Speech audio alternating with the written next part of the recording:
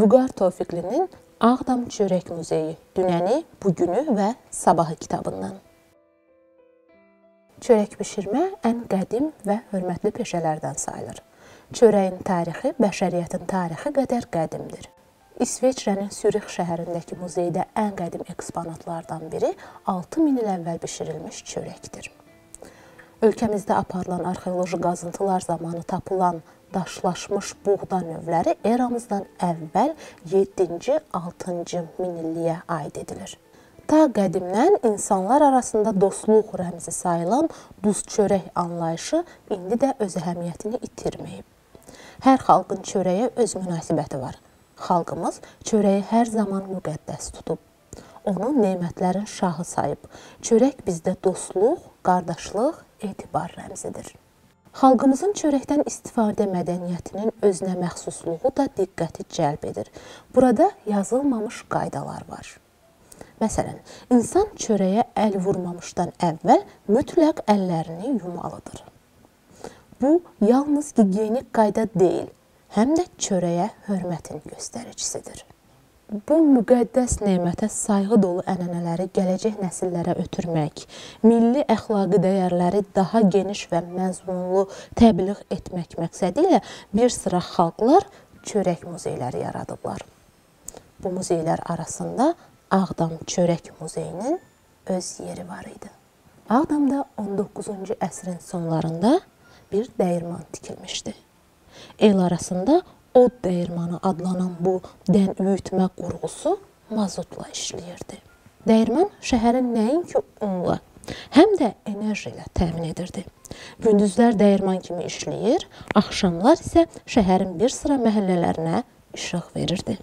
İkinci Dünya müharibəsi illərində od dəyirmanı şəhər sakinlərinin ümid yerinə çevrilmişdi. 1982-ci ildə bu dəyirmanın binasında çörək muzeyi açmaq haqqında qərar qəbul edildi.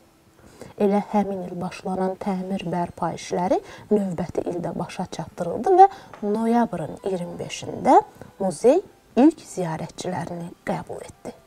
Muzeydə Azərbaycan taxılının zəngin növlərini və çörək mədəniyyətimizin qədim ənənələrini göstərən eksponatlar əslində respublikamızın bütün ərazilərini əhatə edirdi. Məsələn, Qazax rayonu ərazisində tapılmış külçəbasanın çörəyə naxış vurmaq üçün yaradılmış əşyanın 3000 il yaşı var idi. Bu sadə alət hər şeydə gözəllik axtarma vərdişinin qədimlərdən bəri xalqımızın qanında olduğundan xəbər verirdi. Muzeydə müxtəlif taxıl növləri ilə yanaşı buğdadan düzəlmiş eksponatlar da nümayiş etdirilirdi. Eksponatlar içərisində buğda dənələrindən düzəldilmiş və həmin dövrdə ziyarətçilərdə böyük maraq doğuran Azərbaycan xəritəsi də var idi. Bu qeyri-adi xəritəni muzeyə Zakataladan hazırlayıb gətirmişdilər. Ağdam Çörək Muzeyində nümayiş olunan eksponatların bir hissəsini buraya gələn əcnəbi ziyarətçilər bağışlamışdılar. Eksponatlar arasında ən təsirlisi Galina Konayeva adlı bir qadının Leningrad şəhərindən gətirdiyi blokada çörəyi idi. Böyük Vətən müharibəsi zamanı Leningrad şəhəri uzun müddət faşistlərin mühasirəsində qalmışdı. O zaman şəhər əhalisinə adam başı gündəlik çörək norması olaraq 125 qramlıq qara çörək verilirdi. Kanayeva həmin günlərin yadigarı olaraq bir çörək tikəsini saxlamışdı televiziyada muzey ilə bağlı sujet verildikdən az sonra o Ağdama gələrək onu muzeyə təqdim etmişdi. Daşa dönmüş bu xırdaca tikə çörəyin qədrini bilməyənlərə ibrət, həyat dərsi idi. Böyük hərflərlə yazılıb muzeyin divarlarına vurulmuş atalar sözləri də çörəyin müqəddəsliyini, gücünü, qüdrətini bir daha ziyarətçilərin yadına salırdı. Çörək baha olanda ölüm ucuz olur. Qılınc kəsməyəni çörək kəsər. Muzeyin xatirə kitabında buraya gəlmiş adamların ürək sözləri yazılmışdı. Onların arasında xarici vətəndaşlar, yüksək vəzifəli rəsmi şəxslər də var idi.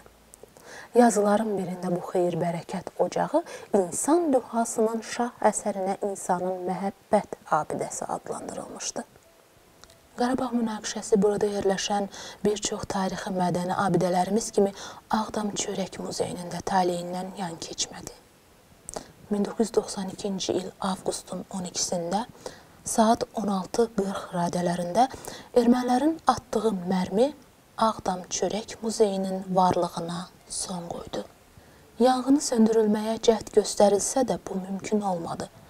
Eksponatların çoxu, eləcə də muzeyin tavanı taxta materialdan hazırlandığına görə tez alışdı. Bir saatın içində muzey külə döndü. Dəyirmanın yalnız divarları qaldı. Qiymətli eksponatlar məhv oldu. Onlardan yalnız ən qədimi daşlaşmış buğda dənələri xilas edilərək Bakıda Milli Azərbaycan Tarixi Muzeyinə əmanət verildi. Bəli, məhz əmanət kimi. Çünki haqq ədalət mütləq qalib gələcək. İşğal altında olan torpaqlarımız gec, tez qaytarılacaq. Dağıdılmış, talan edilmiş şəhər və kəndlərimiz, mədəniyyət ocaqlarımız bərpa olunacaq. Müzik